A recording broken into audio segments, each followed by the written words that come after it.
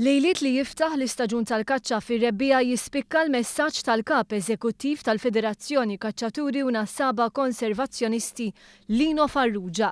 Sena wara li bi ftit intrebaħ referendum biex l-istaġun tal-kaċċa fir-rebbiegħa jibqa' jinfetaħ, Mamanjus Farrugia appella l-ħarsien tar-regoli mill-kaċċaturi. Għamilna appell u Nerġa' nagħmel nieħu din l-okkażjoni biex nagħmel appell biex nibżgħu għal ftit li ħallewilna għax dana llum kulmat fadlilna erbatax-il nofs ta' nhar fejn qabel kien ikollna sittin ġurnata sħiħa għalhekk ngħid ngħid lill-kaċċaturi jibżgħu għal dak li fadal.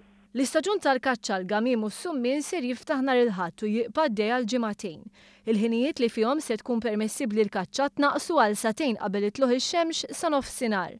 Din is-sena l-istaġun tal-kaċċa se jkun fih miżuri speċjali biex jitnaqqas l-impatt tad-deroga fuq il-popolazzjoni tal-gamiem u s-summien. Fil-fatt il-kwota nazzjonali se tkun ta' 5,000 gamiema u summiena. Il-kwota individwali ta' żewġ għasafar f'ġurnata u ta' erbgħa matul l-istaġun baqgħu l-istess bħas-snin li għaddew. Farrugia spjega kif l-FKNK se tkun qed tara li dawn ir-regoli jiġu segwiti.